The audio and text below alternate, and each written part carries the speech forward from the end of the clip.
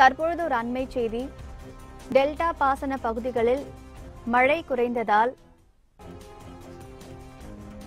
Delta பாசனத்திற்காக மேட்டூர் அணையிலிருந்து திறக்கப்படும் நீரின் அளவு பத்தாயிரம் கன அடியிலிருந்து பதிமூன்றாயிரத்து ஐநூறு கன அடியாக அதிகரிப்பு.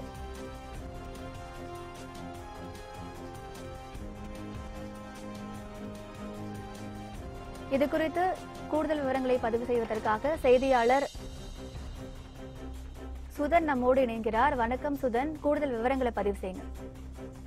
வணக்கம் சஞ்சனா. டெல்டா மாவட்ட விவசாயிகளின் முக்கிய நீர் ஆதாரமாக மேட்டூர் அணை திகழ்கிறது. டெல்டா மாவட்டங்களில் குருவை சம்பா தாளடி என முப்போக விளைச்சலுக்கு மேட்டூர் அணையிலிருந்து திறந்து விடப்படும் தண்ணீரே ஜீவாராதனமாக உள்ளது.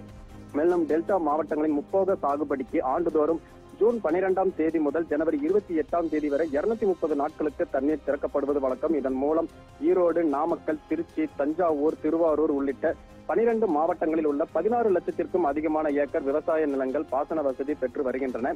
இந்த வகையில் கடந்த எட்டு ஆண்டுகளுக்கு பிறகு உரிய தேதியான ஜூன் பனிரெண்டாம் தேதியான இந்த ஜூன் பனிரெண்டாம் தேதியாக இந்த ஆண்டு டெல்டா பாசனத்திற்காக தண்ணீர் திறக்கப்பட்டது. இதனை தமிழக முதலமைச்சர் எடப்பாடி பழனிசாமி அவர்கள் தனது திருக்கரங்களால் அன்றைய தினம் திறந்து வைத்தார். அதனைத் தொடர்ந்து முதல் கட்டமாக டெல்டா பாசனத்திற்காக இரண்டாயிரம் கனஅடி வீதம் திறக்கப்பட்ட தண்ணீர் படிப்படியாக அதிகரித்து அதிகபட்சமாக வினாடிக்கு பதினையாயிரம் கனஅடி வீதம் தண்ணீர் திறக்கப்பட்டு வந்தன. அதனைத் தொடர்ந்து டெல்டா பாசன பகுதிகளில் பரவலாக பருவமழை பெய்ததன் காரணமாக பாசனத்திற்கான தண்ணீர் தேவையை கருத்தில் கொண்டு மேட்டூர் அணையிலிருந்து திறக்கப்பட்டு வந்த தண்ணீரின் அளவும் படிப்படியாக குறைக்கப்பட்டு வந்தது. அதிகபட்சமாக மேட்டூர் அணையிலிருந்து வினாடிக்கு ஆயிரம் கன அடி வீதம் தண்ணீர் திறக்கப்பட்டு வந்தன. இதற்கிடையில் கர்நாடக மாநிலத்தில் உள்ள காவிரி நீர்பிடிப்பு பகுதிகளில் பரவலாக மழை பெய்து வந்த அதன் காரணமாக கர்நாடக அணைகளில் இருந்து காவிரி ஆற்றில் தமிழகத்திற்கு அதிகபட்சமாக ஒரு லட்சத்தி ஐம்பதாயிரம் கன அடி வரை தண்ணீர் திறக்கப்பட்டது. இதன் காரணமாக கடந்த சில நாட்களாகவே மேட்டூர் அணையின் நீர்மட்டம் சரிந்து வந்த நிலையில் அதிகபட்சமாக நீர்வரத்து வந்ததன் காரணமாக மேட்டூர் அணையின் நீர்மட்டமும் விறுவிறுவென உயர்ந்து வந்தது. தற்போது நூறு அடியை நெருங்கும் நிலையில் இருக்கிறது. இன்று காலை நிலவரப்படி தொண்ணூத்தி எட்டு அடிக்கு மேலாக தற்போது மேட்டூர் அணை நீர்மட்டம் இருந்து கொண்டிருக்கிறது. இதற்கிடையில் மேட்டூர் அணையிலிருந்து காவிரி டெல்டா பாசன பகுதிக்கு திறக்கப்பட்டு வந்த நீரின் அளவானது பத்தாயிரம் கனஅடியாக வெளியேற்றப்பட்டு இருந்து வந்தன.